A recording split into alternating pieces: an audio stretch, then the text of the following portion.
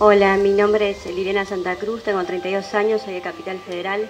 La pregunta es, ¿cómo y por qué te metiste en la política?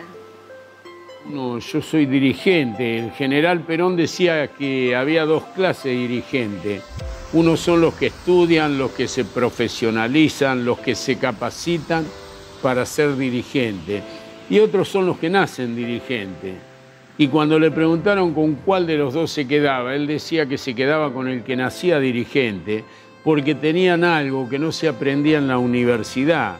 Y eso ha hecho de que uno participe, de que sea protagonista, y ese protagonismo a uno lo lleva a meterse en la política, porque sabe que desde la política es de donde se pueden cambiar las cosas.